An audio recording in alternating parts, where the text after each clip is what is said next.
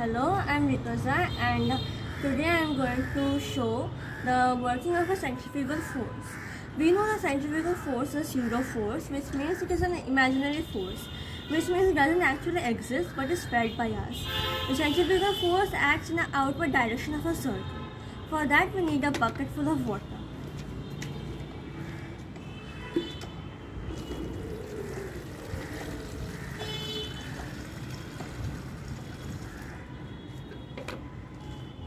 So as you can see, I have taken a bucket full of water and I can tell you that not a single drop of water is going to fall when I'm going to rotate this bucket.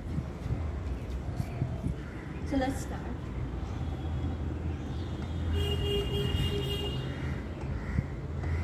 And if I want, I can go a bit slow.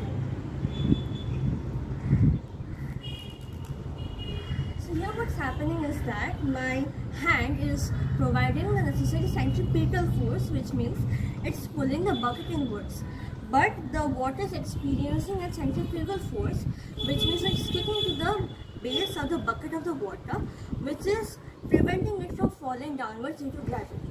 Which means the, if there was no centrifugal force and when I was rotating my hand at the topmost point the centrifugal force would not be acting and the gravity would have pulled the water down. But as the centrifugal force, a pseudo force is present, the water sticks to the base of the bucket.